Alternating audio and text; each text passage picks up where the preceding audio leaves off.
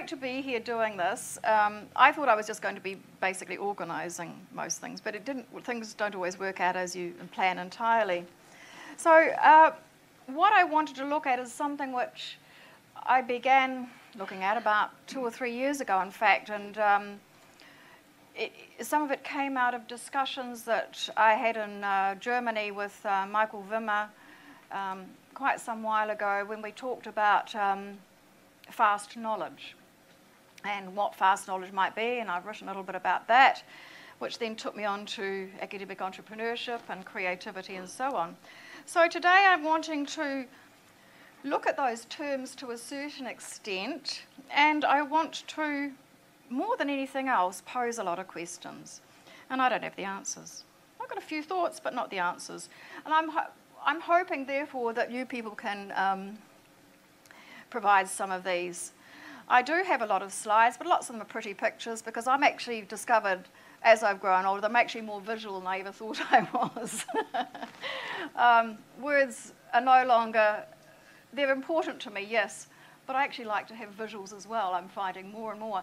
And I guess that's part of this new era we're in where we do have the multimedia facility that we never had before, which I think will change very much what we as academics produce. We won't be just producing the words. We're somewhat constrained by our publishers that it keeps to the words because it's a lot more expensive to produce something with the pictures, as we discovered in a recent book from Sense Publishers. So um, this presentation, I have four sections to. Um, as, as I want to try and get us to think about reimagining the contemporary university. Because I don't believe it's going to stay as it is from now on. There are all sorts of challenges to it, and the university has responded in various ways at different times to the challenges it sees, but I don't think we can even think of quite what we're going to be in 10 years' time, and that's what our VC wants us to, in fact, get involved in something of a task force and trying to, trying to work this out. Futurology. Um, so I think it's one of the significant things that certainly seems to have happened with universities is this particular turn of more recent years, um, this somewhat entrepreneurial term. Now, as you know, I spent the last six years in the US in two different universities, and it became particularly apparent there, I think probably more so than it might have been here. I don't know. I cannot particularly comment for the New Zealand scene.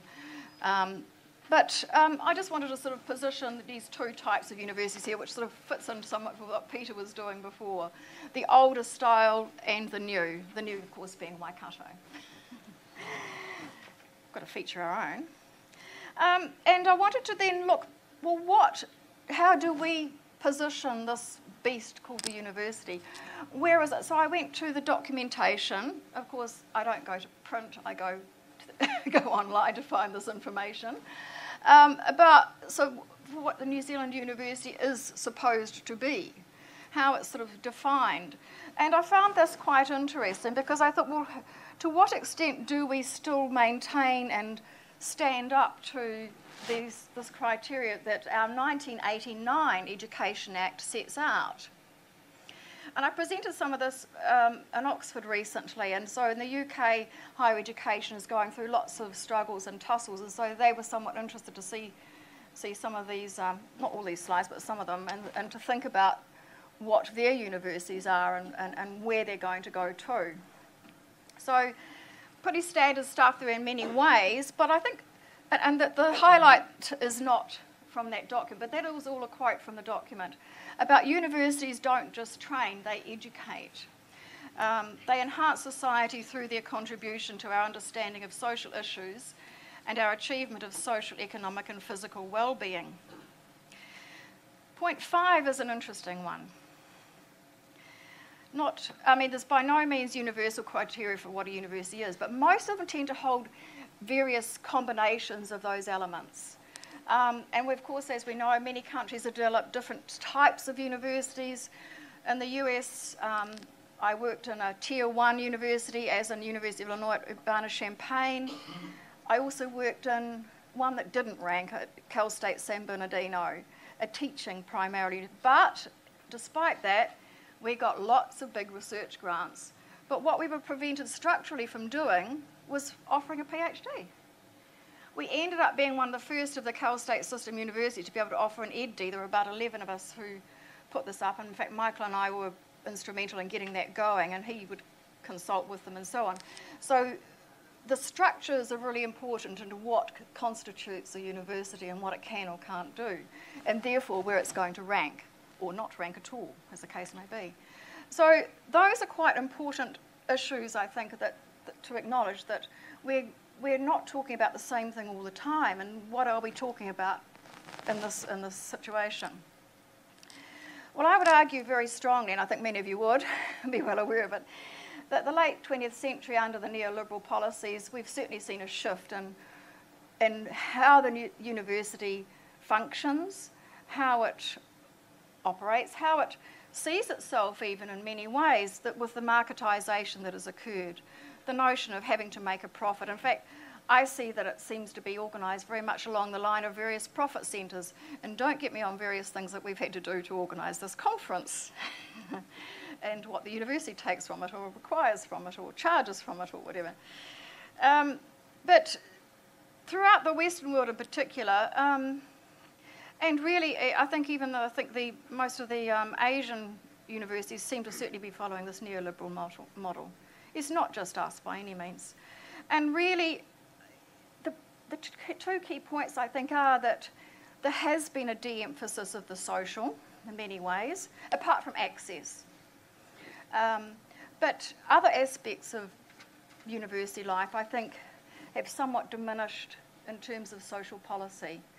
Um, whereas, you know, education is just another commodity. It's uh, clearly made that, makes that very clear in many policies. Um, and where we find that managerialist, HR, RAE style accountabilities, um, PBRF accountabilities here in NZ, um, and profit centres certainly seem to rule. You know, we know, we know the stories. You can't run your class unless you've got X number in it anymore. That's one of the big changes, I think, in this environment, apart from which you need to bring in money. And in my worst moments, I can become very cynical. I can sometimes think that we are primarily job training institutions, not much more than that, with a bit of research, you know, whatever. And when I see that we define our, many of our depart, what have been departments or sections or whatever you want to call them as a school of, a college of, you start to see that emphasis. We know that it means there's usually some directly professionally oriented training, education training, um, and that in the, within the structure there's often very little room for anything. We know that this is what's resulted in the attacks on the humanities and the diminution of those areas as useful knowledge becomes the predominant mantra. In fact, we actually had that um, mentioned very specifically to us at the University of Glasgow. That notion was promoted by the head of research there, and it was very worrisome, I might add, especially since his degree was in engineering and in sewage. Mind you, that's useful. um, and so we're also tied to there now to these research assessment exercises. We're also tied, I haven't put in there, to teaching assessment exercises. We are being assessed constantly. Um, and it worries me that this critic and conscience function does seem to have slipped somewhat. It certainly seems to be, it exists, I, I think you'd have to say, and you could, but I think it's been subsumed or been assumed under other areas and, and sort of sits there, sort of, but is no longer as prominent as it might have been. Um, I think that we do the critical function remarkably well. We don't necessarily come up with solutions or ideas for necessarily how to make things different. We're very good at criticising, but I don't think we're perhaps so good at developing on from there. And I think I'd like to see us be able to do a bit more of that perhaps. And maybe that's just because I've not been in New Zealand universities long enough. Um, and the conscience but as I said, maybe less apparent. Um, but I, I think we need to look at where that social responsibility aspect lies. And I don't think it's enough to just be access.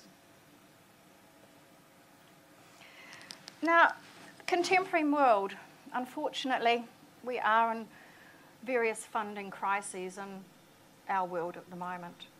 governments have this horrendous fiscal crisis happening um, where all sorts of aspects which come under government funding are being cut. We've also got um, demographic challenges, um, us ageing baby boomers, um, retiring, and um, the costs for prisons, welfare, and so on, um, all demanding shares of government budgets while the worker base is diminishing in many instances, partly because of the older group retiring or about to, and the other aspect being increasing unemployment as a result of this horrible fiscal crisis and, that the world is experiencing. Um, in many countries, especially in the EU, the statistics are horrendous, even for graduates, for unemployment. Um, so then people start to question well, what's the point of going to university if I'm going to be unemployed? What are they really providing for me? Um, which brings us back to job training, I suppose.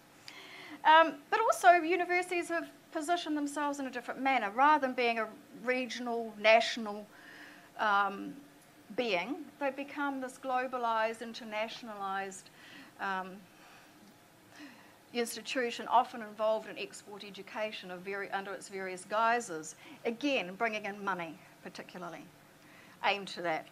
I mean, there's the altruistic thing about, oh, it's nice to get on well with people and let's go and work out how we can all sort of get to get on well together. And I don't don't dispute that aspect either, but I I do think a lot of it is to do with, again, I, I might be a little cynical.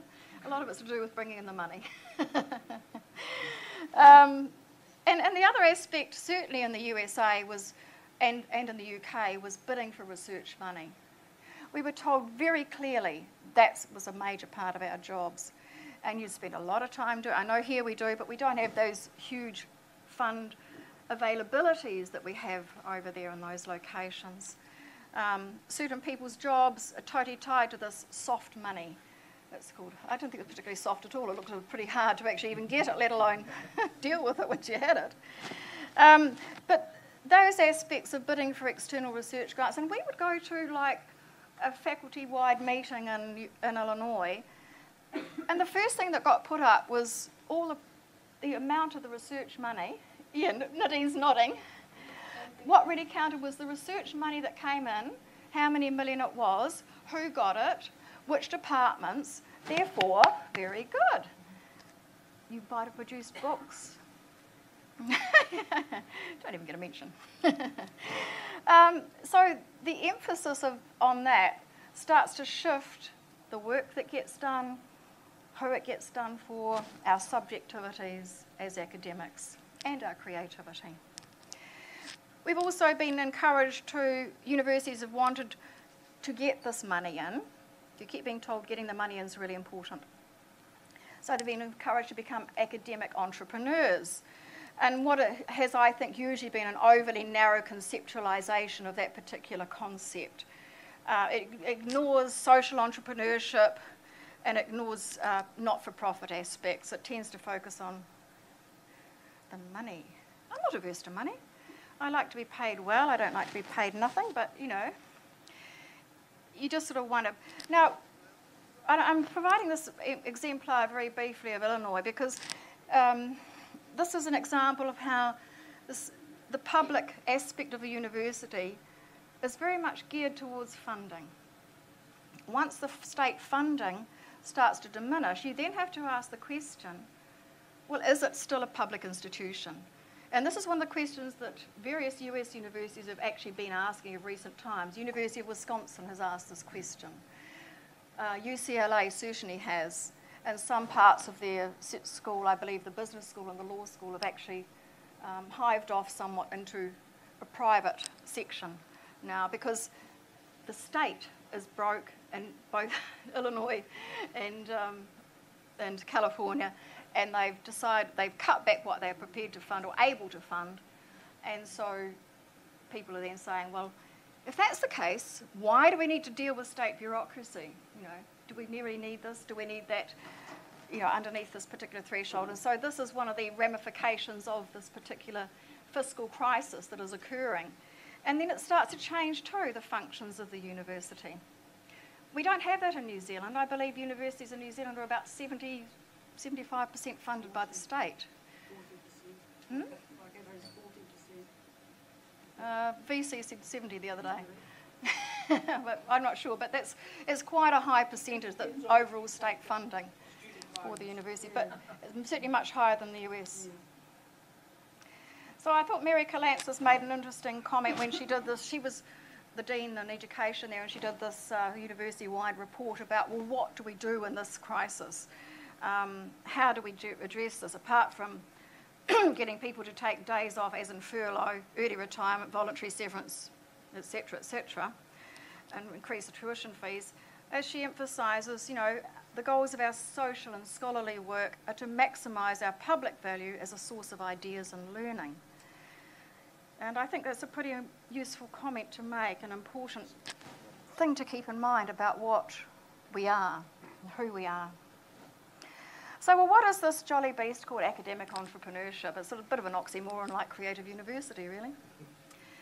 Um, and it's about changing, extending the traditional role of universities in many ways, um, changing those functions that I've already mentioned, um, and as I've said, I believe this new um, conceptualisation currently tends to be much too narrow. I believe it should include those other aspects, the social and public aspects as a form of creativity in the public domain much more. We don't tend, we just don't tend to even look at that aspect particularly. Um, when a, I look at a taxonomy res, uh, uh, associated with this, this particular paper, all of the articles focus on this particular narrow conceptualisation. 173 articles, only over a very short period of time since this term has come into our lexicon.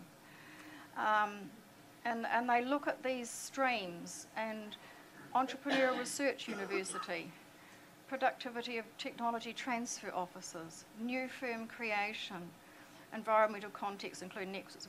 And it's this literature is expanding considerably, but it tends mostly to be in the management, organisational type area of, um, of research and does certainly focus on commercial and for profit. Um, but of course, we know that we actually are actually very creative in lots of ways. We, we, we create huge amounts of intellectual property enormous amounts of it, for good or for bad. Of great quality sometimes, of lesser maybe others, but we do. That's what we do. It's part of our work, not just the teaching side of things.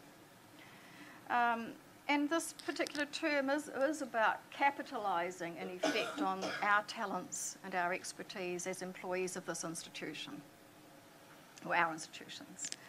Um, and it so far it has certainly emphasised science, medical and technology areas, undoubtedly, because we know there are great possibilities in these areas and, um, and that potential income from those areas are, are quite considerable. Um, aiming to convert these scientific breakthroughs or whatever into some sort of spin off business or company, industrial commercial success. But it, I think it is certainly much wider than the hard sciences. In fact, that's what I'm arguing. Um, this does mean that we get into some controversy and discussion and unease, even, about what is the appropriate role and function of the university, which takes me sort of back in a bit of a loop to the, the first, the earlier slide there about the role of the universities. Know, is that really our function? People will ask. Should, should we really be doing that? Um, well, I guess it's, nowadays it's not so much should we, it's more like are we? It's like this is, this is how it is. Um, but what are seen then as legitimate entrepreneurial academic activities? What about the profit and not for profit ones? Where does social entrepreneurship fit? And of course, who's a knowledge worker and a knowledge manager, and what does that really mean? And I would argue that rather than just those areas in the sciences, medicine, and so on, um, and IT, that really it's a lot more. It is that, but it's a lot more. Publishing, we forget that publishing is a massive industry, and we are very involved in it. Some of us more than others, but we are. Uh, there is performance. We forget that too. There's consultancy, of course, contract research, our external fundings. Then we've got the commercial activities, these newer fundings. These are the traditional ones, really, we've done for a long time in our universities. And then these newer ones are, in fact, these commercial and the spin off companies. So here's our traditional publishing. Way, way back, this is in uh, the cathedral in Toledo, the St. Louis Bible. We had people sitting there, scribes, creating these amazingly detailed, colourful manuscripts. These days we have online publishing of various sorts. We still have paper too. So I, of course, happen to put up educational philosophy and theory, nothing like giving a plug to one of our sponsors. Um, and um, a report, it's not my report, and the latest book that I've just done. And just gave a copy to Peter Murphy, who's got a chapter in it as well. Um, so academic publishing books and journals are a very important part of our academic entrepreneurship work. But we've seen in this lately this enormous change, though, in academic publishing, and this is another whole paper, another whole presentation, which I'm not going to go into here. Um, but um, we've seen this merger happening. Michael mentioned it yesterday, and, and uh, Simon did too. We've got fewer and fewer big publishers in this multi billion dollar industry, and dominated now by those few there, pretty much. Taylor and Francis, Wiley, Sage, Springer, Elsevier, Thomson, Pearson, Palgrave Macmillan, Norton, Peter Lang, McGraw Hill. And we've had somewhat of a demise of university presses along the way, except the more elite ones. So the number of places we are able to put our work out to, and the, that side of things is perhaps diminished. And yet there's been a massive growth in journals. okay, so these current issues, of course, again, Michael alluded to yesterday when he talked about the Finch report, that we provide the work for free, essentially. I don't know how many of you get lots of royalties from books, but most of us don't. it's um, minimal, unless you have a highly successful textbook published by Pearson or McGraw Hill that goes everywhere and costs $120 and every student in 101 English or whatever has to, has to use. Most of the time, the work that we, we get small publication runs, and we think we're doing pretty well. We've got over 1,000, 1,500 2,000, 3,000, whoa, doing well. Um, so small runs of books in particular. Um, our salaries are paid by the mostly publicly funded universities, or if you're in a private one, by that institution. And we provide free the work associated with peer review of journals and books and so on. Publishers tend to hold the copyright we don't tend to so often. And, if, and, and this is one thing I certainly advise people to look at when you read the fine print of a contract when you get a book contract. And of course, now there's this objection to this um, situation and the control, and not so much even the control, in fact, the cost, more than the control, seems to be the issue. The cost of knowledge in that respect um, through the Wellcome Trust, Tim Gowers, and so on, objecting to this. Um, and this is this Finch report Michael mentioned yesterday. I thought, oh, he's keeping taking my slides. you know, uh, collaboration, whatever. But there was real concern that this report, which is seen as a gold standard in effect, a gold model, where authors pay up front from their paper, just is not a model that's going to work in the social sciences or humanities. There's real concern that it's not going to work for early career academics. You know, where on earth as a PhD student going to get the money funded for publishing an article? I don't think so. Really, it, it just isn't going to happen. And then what about the people who are on contract positions? A lot of the US universities have, uh, there, is there is documentation in the higher education journal showing the huge increase in people in contract positions rather than in tenured positions what's going to happen to them? Is it what's going to happen to departmental finances? Are they going to pay for it? Who's going to front up with the money? What's going to happen to the learned societies? PESA Philosophy Education Society of Australia, I'm not going to tell you how much we earn, but we earn quite a lot of money from educational philosophy and theory. which enables us to run conferences, which enables us to fund scholarships. For PhD students, we fund two a year, which enables us to possibly look to in the future, we hope we can perhaps fund some other things like that. But we have charitable academic work that happens in around our learned society. And it would be a bit of a worry if this starts to shift too much, I think, for us. And, and when I discussed with the people in the UK and higher ed there about this, they were, had great concern. They said, We were not consulted. They did not consult anyone in the social sciences, they did not consult anybody in learned societies. So, and of course, I think we all know about these limitations of citation analysis. I probably don't need to go too much there.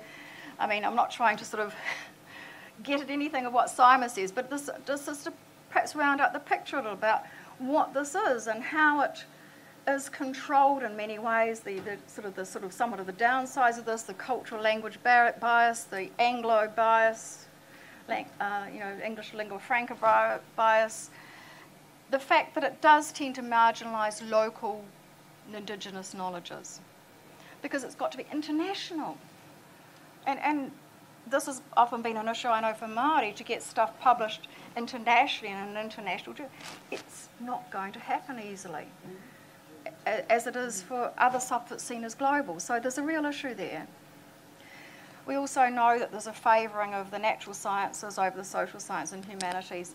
But the real thing that bugs me and worries me intensely, more than that, because those can be dealt with to a certain extent,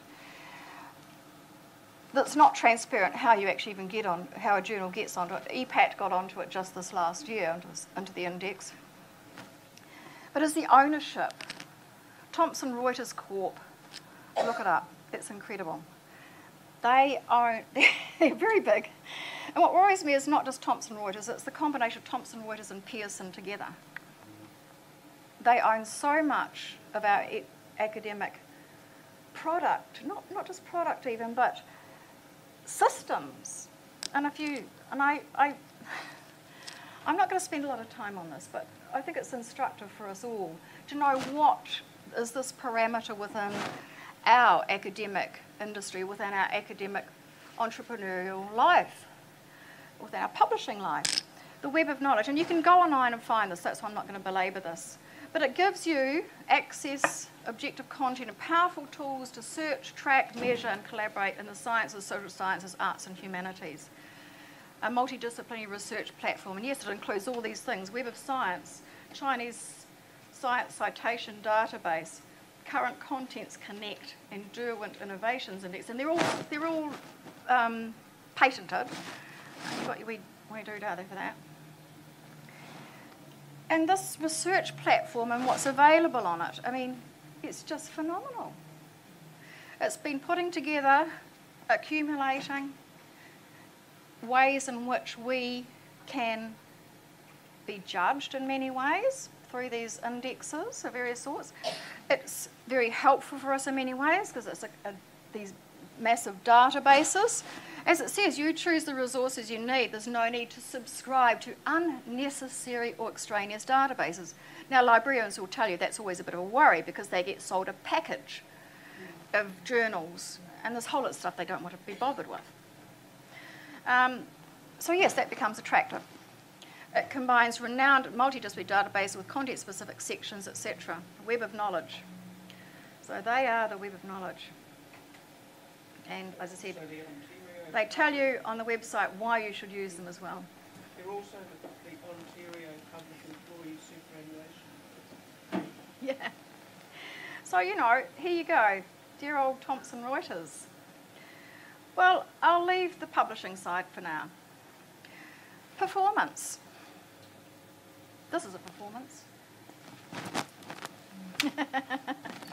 no, I'm not going to start. I'm not that good anymore.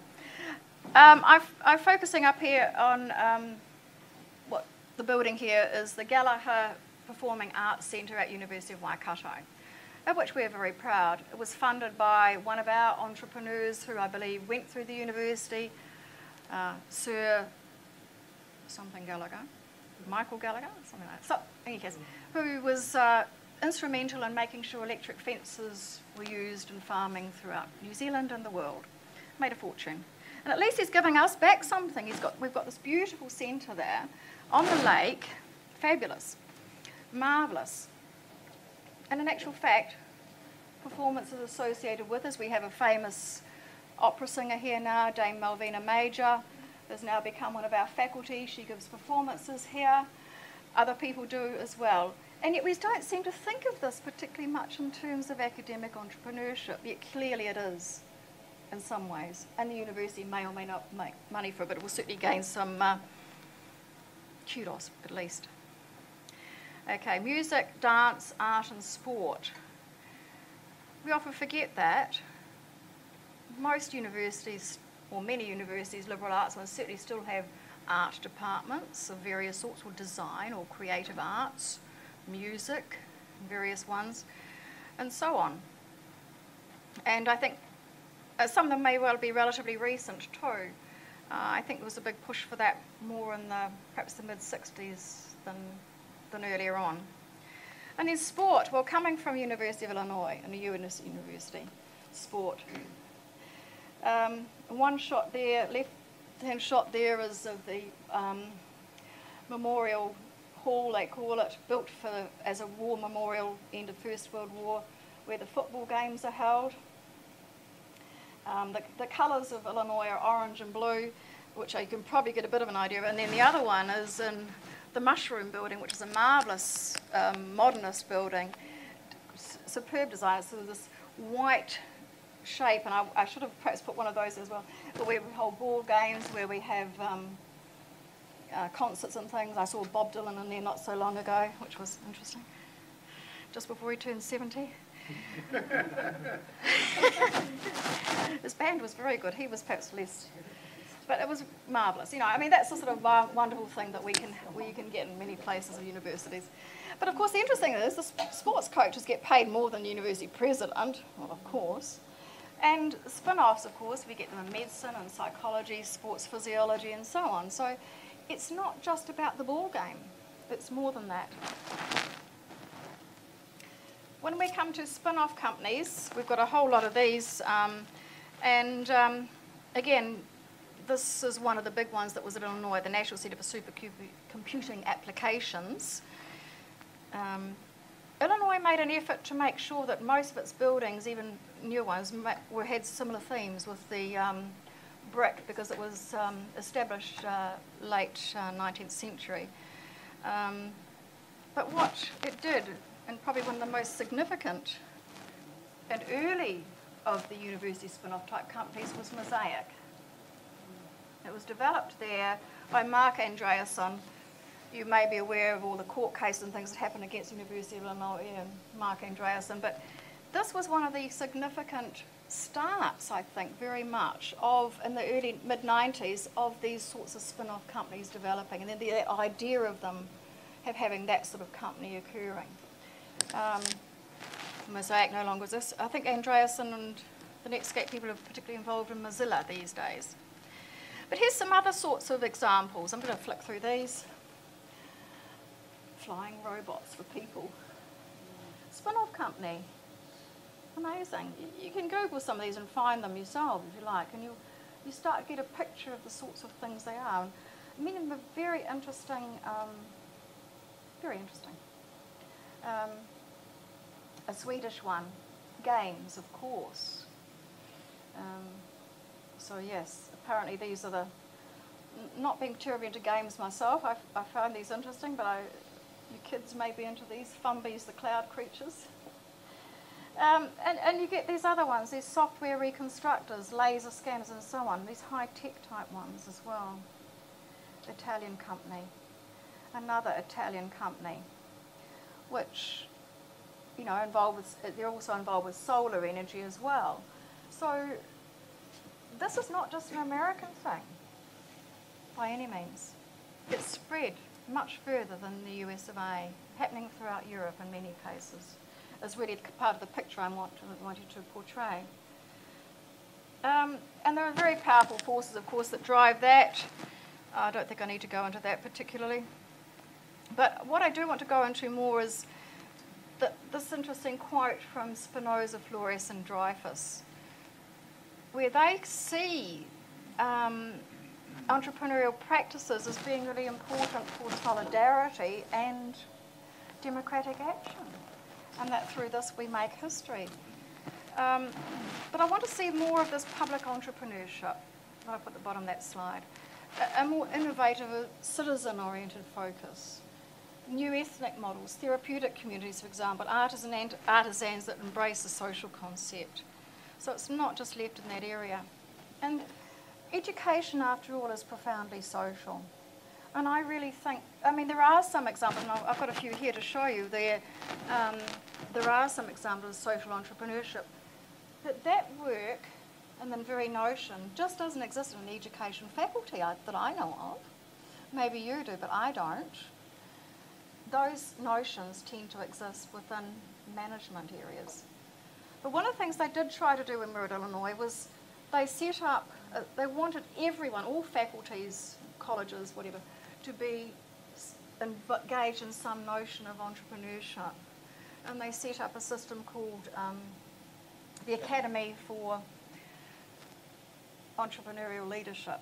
And they gave us some funding when we, if you were successful, and Michael and I were successful. And we put up a course, a master's course on academic entrepreneurship and creativity, which was part of our online Global Studies and Education course. So they, they, and, and what it did was it got people from different faculties starting to meet together and work together and think, think ideas. So it wasn't just isolated in the business school. It's gone back there now because the, the funding for this, which came from an outside source, the five million has dried up. Five, it was for five years and it got things underway and was then after that the usual story that's like seeding money $5 million and you expected to find your own way um, but this notion of social entrepreneurship i've taken this from the stanford website is becoming much more important and seen as a very um, um, valid aspect of, um, of life the meaning of life um, for many people now. And so you have Stanford providing this as part of their executive program. So it's no longer like executives expecting to only be involved in for profits. A lot of them are now starting to get involved as, because they don't like necessarily just working in that area. They want to do something different. So the Stanford uh, Centre is quite an interesting one. And I've got a few examples. When I had a bit of a search, I started to find that um, there were some examples in education, but again, it was more the people who were from the executive management schools who would then be, or successful business people who would then put some of their money into these areas because there are big tax advantages in the US. But we've got Ann Cotton, who's actually MBE, she's from Cardiff, who's been uh, really important in female education in Africa, um, looking at, uh, from a grassroots approach. So you start, you do get these people and they're involved in education in some way. Um, you've got Eric Schwarz in the in the US about after school programs, um, certainly in urban areas in particular. In Paraguay, um, teaching students to become entrepreneurs themselves, teaching practical knowledge. Taddy Blecher in South Africa, um, try, his, his work there, um, taking this holistic approach to, to sort of provide um, higher ed to the smaller villages and so on. So, creativity. I think it's quite nice that John Howkins comments about it. Uh, it, it, it emphasises that it's, it's just not one thing, it's multiple multiple ways, multiple ideas, and so on. And I, I like the um, being reminded about our capacity to dream, wander, think, challenge, disagree, and invent. Um, yeah, we sometimes need reminding about that. We know pretty much, as far as definitions are concerned, we've got the old romantic notions of Schumpeter, you know, the mad genius and the garret or whatever. Um, isolated person. But we've shifted considerably in our modern world. We've certainly become much more aware that we have this a, a, world where ideas have taken over so much more. I don't think we were lacking in ideas before, we're, but we're working together on ideas and collaborating in a team approach has become particularly important. Um, uh, Romer makes this, I think, very clear. His, his idea, his um, concern about meta ideas and so on. And some of this ground has already been covered in, in previous talks and things already today, in the last couple of days. Um, the challenge now facing all of the industrialised countries is to invent new institutions, which is why I'm talking about perhaps reinventing universities, that encourage a higher level of applied, commercially relevant, or not necessarily commercially relevant research and development in the private sector. I would alter that slightly. And again, this is this notion of creativity that's already pretty much been mentioned about it being this broader conceptualisation. Won't belabor that. Those are the three books by the three miscreants we've already had. Michael, Peter, and Simon. in case you didn't know what they looked like. Creativity in the Global Knowledge Economy, Global Creation and Imagination. Part of a burgeoning literature. And another one, Education and the Creative Economy, um, which looks at exploring this in terms of learning and education with all sorts of name contributors there. So the creative economy, multiple sites, multiple spaces, neighbourhoods, not just one location. Um, but I think Peter was sort of getting there to a certain extent what you were saying about spaces and about your environment. And I think all of us find that certain environments suit us better to work in for creativity than others. I tend to do most of my work at home at night and often in the middle of the night. I don't tend to do, I do my admin work and the busyness work and that's in the, in the university precinct. I don't tend to do it there. Um, yes, the middle of the night is true. Between three and five in particular. and the cat gets up and decides that she knows what the mouse pad is all about. I don't know. Um, uh, it's about the emphasis on symbolic goods, on symbolic ma- manipulation, on sign value, on digital goods. Um, and so this starts to change that notion of entrepreneurship quite considerably. I'm going to run out of time, of course, but that's all right. I wanted to just flick through some of these because there's lots of ideas here, I think, for us to think about for what we see this and what we see it becoming. And partly to do with this is the fact that it's been fairly well established now by various theorists that um, knowledge does differ from another product. Even though we've got the neoliberal model telling us it's a product, it's a commodity, it's different. It's non-rival, partially, you know, in, in, in, the, in this respect, um, that's probably the crucial difference. It's not necessarily going to depreciate. It might if it's certain types of knowledge. It can be added to by working in a team. Uh, you're not, you're not going to diminish it. So that's one of the important things. And of course, the other aspect is this, the, the collaborative, commons based peer production that has emerged and the formats for allowing for that. Um, P, P2P as, as part of the openness movement, the peer to peer movement, and how this changes that relational dynamic of creativity, innovation, and so on.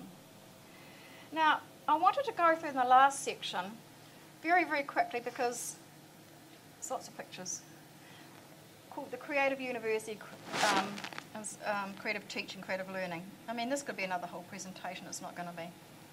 Um, but I really do think we do need to look at institutional design in all sorts of ways. I think we have got to look at changes in policy, for one thing. I mean, I get driven insane by having multiple committees to have everything being passed through. I mean, I'm not an autocrat really, but I just don't want to have 10 committees to look at one fairly simple idea. It just does, it's non-creative, non-functional really. It gets there in the end, but it's exasperating. You think, oh, can I be bothered? Um, you know, and, and is an accountability measure like teaching assessment, research assessment, is it actually enabling creativity or not? Okay. What about our social and moral comp- competencies and so on? What, what are we doing? Well, we, we know about changes in pedagogy. We know that's happened already. The online stuff is already there and already happening. That's changing things. Um, the use of multimedia and internet resources. We know the university's become networked in a way that it perhaps hasn't before. Um, we know that we can also work collaboratively across universities on various research projects and writing projects and so on. But in revisiting the university, we had hoped to get somebody here from Bangkok University because they have been establishing themselves as this creative university. So that's why I said I wanted to flick through to get some of these pictures. This is underway, this is happening now. And it's not only design, it's creating an environment, a very different. Has anybody been to Bangkok University? That is a good excuse to go, isn't it? Have you? Is this happening that you've noticed there, Peter? I didn't see this development. Right. I was there several years ago. Well, it's this, um, yeah, that, that they've designed these floors of, of a new four story building and this whole complex they're designing and going to build apparently. Um, and it's to it, it's for the students to out, re, change their space, to change how they relate to each other and um, how they spend time not just studying but enjoying themselves. Since when were students allowed to enjoy themselves? Only when I went to university, went and all the boys played slippery salmon pontoon upstairs, and the girls would sit down below and drink coffee and things like that. Or try and get, get off with the boys that were upstairs, the cool ones, you know, who weren't bothering to study. Any case, that's another story. So there's this local design organisation called Super Machine Studio, led by local key designers who've developed this particular space on this campus in north, north of Bangkok. I'm thinking, hmm, now that would be nice, maybe.